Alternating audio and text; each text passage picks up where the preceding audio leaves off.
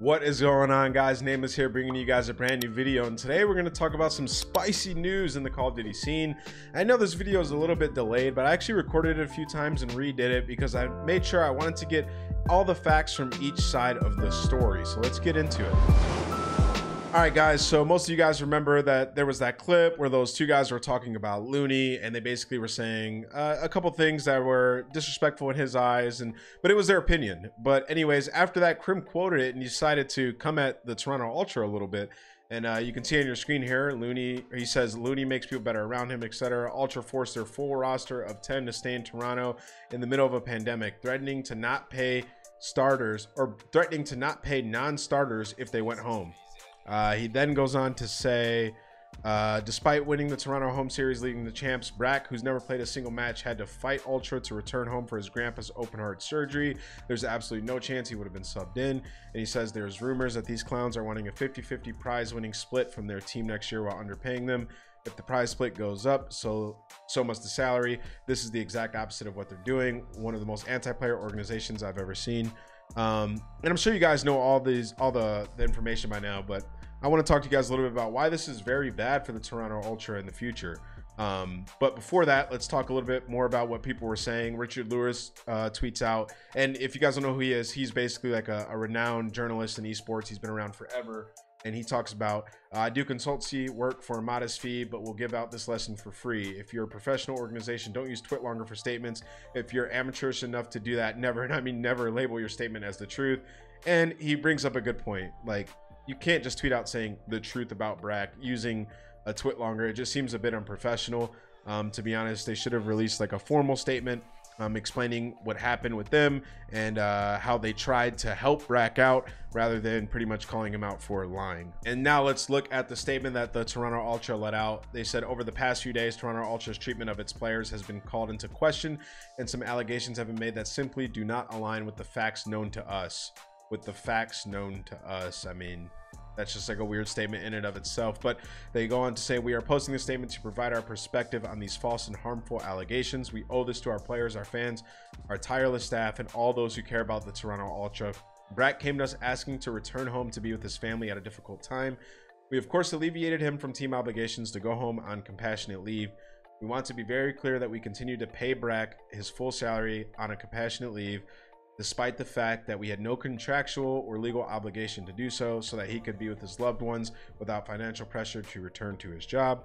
Some days later, he came to us to say he was now ill and indicating that he could not return to Toronto.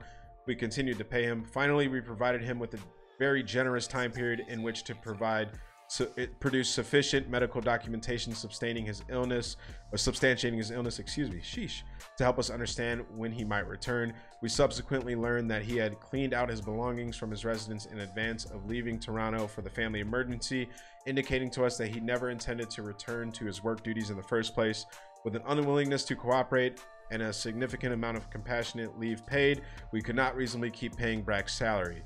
We are a proud organization with great people who truly care about uh, our work and each other. This has been a tough year on everyone, but at some point, an organization has to stand up for itself and protect its people and its reputation. We cannot let these false statements about Toronto Ultra's conduct continue unanswered. We believe our conduct has been entirely reasonable, even characterized as generous towards Brack, and we will stand by our conduct and our people.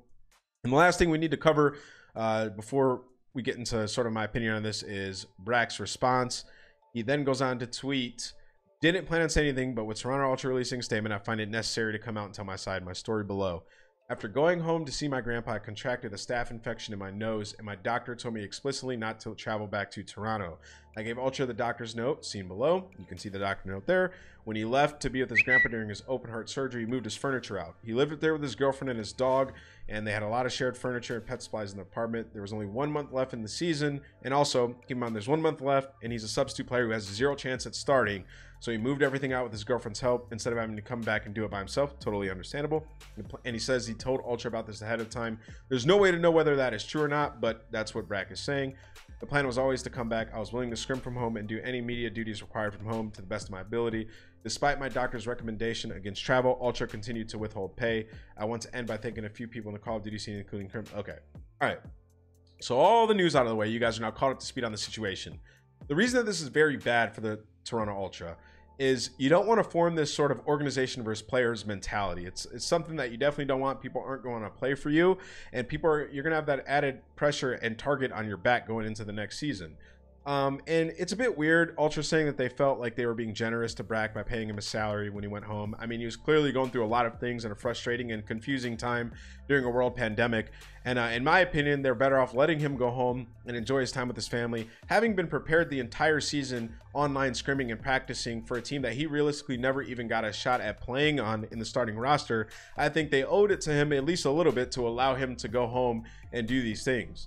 And the reason that this is troubling to me is because I think back to when Classic was not on the starting team for a little bit. And they were scrimming without him and things like that. And that's because he wanted to go home and they weren't letting him go home. I got these from some sources that are very in tune in the scene and know what's going on. And that is just not the type of behavior that you want to set uh, as a standard for your organization. Another thing about the Ultra, I did some digging and I asked around, and uh, to the best knowledge of my sources, they are the only team that requires you to be in a single location the entire time. The rest of these guys are able to move around, they're able to go to different places, and I don't know what that has to do with maybe the border being in Canada, etc. But I don't see there really being a big issue in allowing a player to go home you know, for Looney, for example, to go home and spend time with his fiance and his pets and be in the house that he just purchased for a little bit when he isn't on the starting roster. I just don't understand why this would be such a big issue when you can do this from home. We're living in an environment where everything is done from your bedroom. You're broadcasting from your bedroom. All the content that you're producing is realistically from your bedroom. So I don't understand why they're being so insensitive towards some of these players. I'd love to talk to some of the management or them to release a statement why they weren't allowing people to leave and go home, but it seems a bit senseless to me as their starting roster was all in the same location. They were ready to go, and the guys that had no chance of being on the starting roster were trapped in Toronto. It's just a bad precedent to set, and you're going to deter players from wanting to come to your organization in the future. I hope that Toronto can fix this going forward, but they have a lot of work to do, at least on the PR side of things. As far as what Crim was saying, obviously he was taking a lot of shots at Toronto. Um, when he refers to all these other players and stuff, the entire community talks of pro players. And as of right now, a lot of the pro players have been really against Toronto Ultra and the treatment of their players. I hope that it improves in the future. But that's all I have for you guys. If you did enjoy this video, make sure you leave a like. Much love and appreciation to everybody tuning in. And if you didn't notice, I did get this new beast of a PC right here. And we're going to have a video on that pretty soon. Well, much love. I'll see you guys tomorrow.